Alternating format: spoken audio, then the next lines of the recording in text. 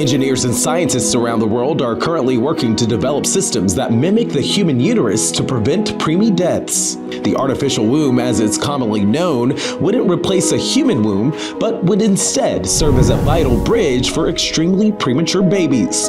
The artificial placenta prototype is typically a translucent container made of biocompatible material. This creates a protective environment so the fetus's lungs, intestines, and brain continue to develop. Upon birth, the premature baby is carefully placed inside the artificial womb, submerged in the synthetic amniotic fluid, just like in a natural womb. The baby is then connected to a system that functions like a placenta. This umbilical cord-like connection provides the baby with oxygen, nutrients, and also removes waste just like a natural placenta. The conditions inside the artificial womb are carefully controlled by maintaining the correct temperature, fluid levels, and pressure, like the conditions of a natural womb.